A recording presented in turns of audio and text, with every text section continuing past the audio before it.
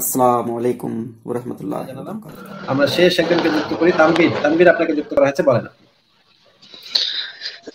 জি মহিউদ্দিন ভাই আপনার সাথে কিছু কথা ছিল আমি বলতে পারি অনুমতি দিলে। হ্যাঁ হ্যাঁ অবশ্যই বলেন। সেটা হচ্ছে যে আপনারা তো সম্ভবত প্রতিদিন এই ডিবেটটা করেন তাই না? ডিবেট বলতে যারা যুক্ত হতে চায় তাদের নিয়ে ডিবেট করেন তাই? প্রতিদিন করি না মানে আমি তো মানে সপ্তাহে হয়তো তিন দিন করি। আর এগুলো একটা ডিবেট আচ্ছা। না এগুলো সব আলোচনা ডিবেট ভিন্ন একটা জিনিস। হ্যাঁ আচ্ছা আচ্ছা ডিবেট জিনিস। ডিবেট যদি আপনি করতে চান আচ্ছা। তাহলে আগে থেকে জানাতে হবে পক্ষ পক্ষ থাকবে এবং একটা সাবজেক্ট থাকবে কোন বিষয় বিতর্ক হচ্ছে। তো সেটা ভিন্ন জিনিস। জি জি অবশ্যই। জি অবশ্যই। তবে আপনার কাছে কয়েকটা কয়েকটা বলতে একটা প্রশ্ন ছিল। হ্যাঁ তাহলে তাড়াতাড়ি করে ফেলেন ভাই আমার তো আজকে বেশি সময় জি জি আমি বুঝতে পারছি বুঝতে পারছি। সেটা হচ্ছে ফার্স্ট প্রশ্ন হচ্ছে আপনার কাছে যে আপনি বর্তমানে কি নিউ ইয়র্কে আছেন না কোথায় আছেন? আমি একটু আপনার সম্পর্কে জানি না সেটা- তেমন সেটা সেই কারণে জিজ্ঞাসা করছি। সেটা জেনে আপনার লাভ কি ভাই? আচ্ছা দাদা আপনি ভুল বুঝবেন না জাস্ট আমি জানতে চাইছি চাইতেছি আর কি। কারণ? বাংলাদেশে থাকলে তো কি- আপনার আপনি কি আপনি কি আমার সাথে কোনো মানে বোন বিয়ে দিবেন না মেয়ে বিয়ে দিবেন? কোনো কি দরকার ভাই? আমি কোন দেশে থাকি কি দরকার আমার আমার দেশটাই না কি? না না আপনি আপনি তো মানবতাবাদী ঠিক না? তাহলে আমার প্রশ্ন হচ্ছে আপনি যদি মানবতাবাদী হয়ে থাকেন আমি তাহলে এটা তো আপনার কোনো প্রশ্নের উত্তর। দূর ভাই। আমি মানবতাবাদী কে বলছে আপনাকে? না আপনি এই যে যেহেতু মোহাম্মদকে বিভিন্ন রকম কথা বলেন বা ইসলাম ধর্মকে আমি আপনি কবে বলছি? আমি কবে বলছি আমি মানবতাবাদী কবে বলছি? বলেন না আমি আপনাকে বলতেছি আপনার ব্যবহার আচরণে সবকিছুতে যেহেতু আপনি মানবিক দিকটা ভালোভাবে দেখতে চান। ভাই ভাই ভাই রাখি রেখে কথা বলি কথা বুঝবে না মাথায় কিছু নাই। আমি যদি দাবি না করি একটা জিনিস যে আমি মানবতাবাদী বা কি বাদী এই বাদী সেই বাদী ফংবাদী কংবাদী গাঞ্জাবাদী হেরোইনবাদী মদবাদী নারীবাদী মানে এই- এভাবে বললাম যে কোনো একটা কিছু বাদী যদি আমি যদি না বলি নিজেকে তাহলে আপনি কীভাবে আমারে বলবেন সেটা? আপনার তো সেই এখতিয়ার নাই।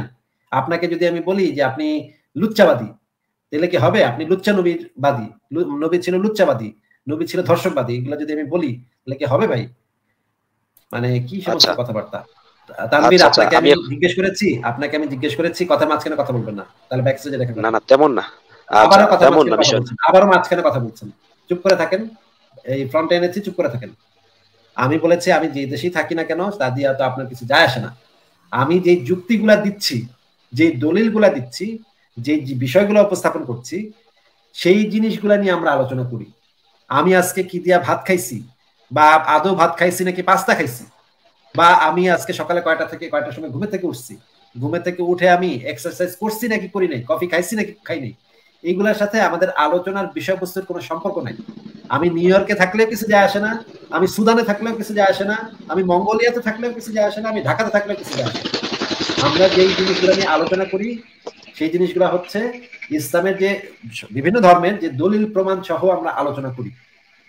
সেই আলোচনা বিষয় যদি কোনো দলিল প্রমাণ বিষয় বা কোনো যুক্তি বিষয় যদি আপনার কোনো আলোচনা থাকে আপনি সেই আলোচনাটা করবেন।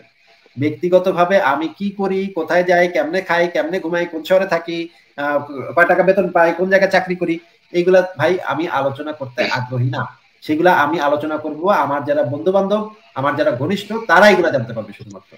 এছাড়া আর কেউ এই জিনিস জানতে পারবে না কারণ আপনাদের সেগুলোর কোনো প্রয়োজন নাই। আপনারা এই আচ্ছা। জিনিস নিয়ে আলোচনা করতে পারবেন যে জিনিসটা নিয়ে আমি আলোচনা করি। যেমন এই যে বনু কুরাইজা গোত্র নিয়ে এতক্ষণ আমরা আলোচনা করলাম সেই বিষয়ে আপনার যদি কিছু মতামত থাকে বা বলার থাকে বা দলিল প্রমাণ থাকে আপনি শুধুমাত্র সেটা নিয়ে কথা বলতে পারবেন। ঠিক আছে? আচ্ছা আপনার কথা আপনার কথা শেষে এখন বলতে পারি কিছু কথা? হ্যাঁ বলতে পারেন বলেন। সেটা বলছিলাম আপনি তো অপরচুনিটি দিচ্ছেন আমাকে আমার কিছু বলার। বললাম যে না হয় আমি একটা কথা বলেছি সেটা ভুল হয়েছে। বাট আপনার তো উচিত যে আমাকে কিছু সুযোগ দেওয়া আমি কিছু বলব সে বিষয়ে সুযোগ দেওয়া। এখন যেমন আমাদের বিশ্বকবি রবীন্দ্রনাথ ঠাকুর আমি বলি আমার কথা শেষ করতে দেন কথা বলবেন না। কথা অবশ্যই কথা বলব। এই যে আমার লাইফে এসে আমার এসে বলতেছে কথা বলবেন না। কত মানে ফাউল কত পাগল নাকি এগুলা? মানে পাগল নাকি? আমার লাইফে এসে আমার বলে কথা বলবেন না। মানে চিন্তা করছেন সাবালটান ভাই আর আপনি তো তাকে কথা বলার সুযোগ দিছেন, আর সে যখন মানে এই সুযোগটা পেয়ে তো আবারও সে বলা শুরু করছিল যে আপনি একটা হিউম্যানিটেরিয়ান আপনি হিউম্যানিটেরিয়ান আপনি দাবি করেন, সে আপনাকে ইয়া করতেছে। সে তো এই পয়েন্টটা নিয়েই বারবার মানে জাস্টিফাই করার চেষ্টা করতেছিল। যে ভুল, সেটা তো সে স্বীকার করে না মানে সবচেয়ে মানে ছাগলামি হচ্ছে এইটা আমার লাইফে এসে আমি যদি কাউকে কথা বলার সুযোগ দিই, তাহলে সে কথা বলার সুযোগ পাবে। এছাড়া তো তার তো এখানে কোনো অধিকার নাই কথা বলার, তাই না? সাবালটন ভাই। অবশ্যই অধিকার তো মানে রাষ্ট্রের থেকে। এখানে কথা বলার তার খালি প্রিভিলেজ আছে সেই প্রিভিলেজটা আপনার ডিসিশনের উপরে ডিপেন্ড করে যে আপনি তাকে অনুমতি দেন নাকি দেন না। এই জিনিসটা আরও ভালোভাবে বুঝাই দিই, এই গাধাগুলো বোঝে না। এই মাথার ভিতরে তো একেবারে মানে মোহাম্মদের গু ভর্তি, এই কারণে এই গাধাগুলো বোঝে না যে কোনটাকে অধিকার বলে, কোনটাকে প্রিভিলেজ বলে পার্থক্য বোঝে না। পার্থক্য হচ্ছে, আমার বাসায় যদি আমি সাবলটান ভাইকে দাওয়াত দিই, তাহলে সাবলটান ভাইয়ের কোনো অধিকার নাই। আমার বাসায় সে খাওয়া দাওয়া করবে, সে কোনটা খাবে আমার ফ্রিজ খুলবে কিনা, আমার বিছানায় ঘুমাবে কিনা, এই ধরনের কোনো অধিকার সাবলটান ভাইয়ের নাই। যতটুকু আমি তাকে দিব, যতটুকু আমি তাকে খাইতে দিব, যতটুকু আমি তাকে এক্সেস দিব, ততটুকু সে শুধুমাত্র করতে পারে। আমি যদি তাকে বলি যে হ্যাঁ সাবলটন ভাই টিভিটা অন করেন, চালান টিভিটা দেখেন। আমি যদি আপনাকে বলি যে, বিয়ারটা খান সাবলটন ভাই, আসেন, বিয়ারটা খাই, আমরা দুজন একসাথে। এইটা আপনি করতে পারবেন। কিন্তু আপনি নিজে সাবলটন ভাই, আপনি নিজে থেকে আমার বেডরুমে ঢুকে বা আমার কিচেনে ঢুকে আপনি একটা মানে ফ্রিজ খুলে একটা জিনিস নিয়ে খেয়ে ফেলবেন। এই অধিকারটা আপনার নাই। তাই না সাবলটন ভাই? অবভিয়াসলি আসিফ ভাই বিকজ ওগুলো সব আপনার পার্সোনাল প্রপার্টি এবং আপনার পার্সোনাল প্রপার্টি যদি আমি ব্যবহার করতে চাইতেন একমাত্র উপায় সেটা আপনার অনুমতি দিয়ে। এক্স্যাক্টলি আমার কোনো প্রপার্টিতে এসে যদি আপনি কিছু করতে চান বা কিছু বলতে চান আমার অনুমতি ছাড়া সেটা করতে পারবেন না।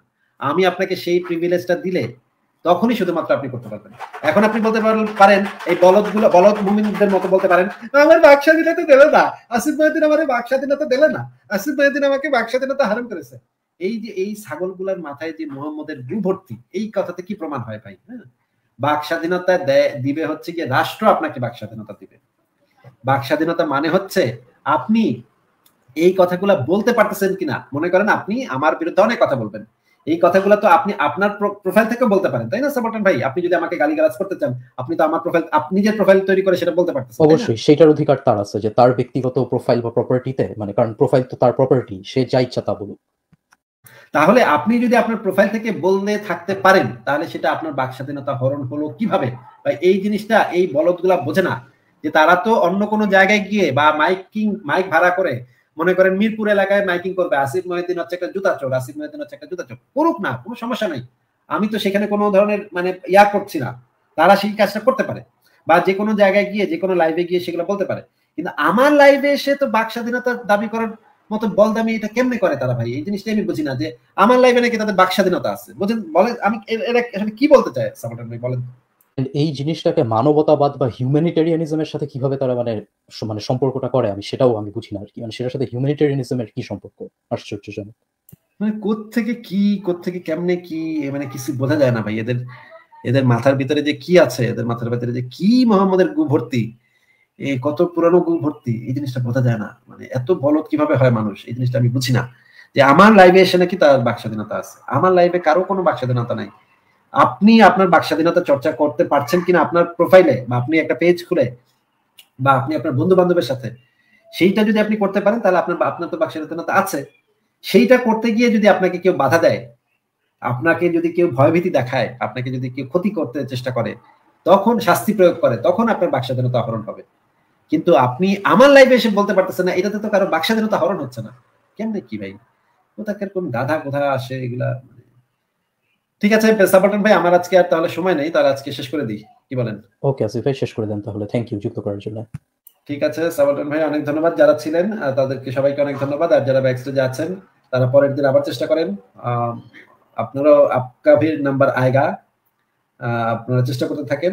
একজন একজন দেখছি যে সে খুব হাত নাড়াচ্ছে ভিডিও অন করে খুব হাত নাড়াচ্ছে। আপকা ভি নাম্বার আয়গা। একদিন চেষ্টা করতে থাকেন আস্তে আস্তে একদিন নিশ্চয়ই আপনার নাম্বার একদিন আসবে। ঠিক আছে, আজকে তাহলে শেষ করে দিচ্ছি। ভালো থাকবেন সবাই, শুভরাত্রি। সবাইকে অনেক ধন্যবাদ যুক্ত গুড নাইট সবাইকে।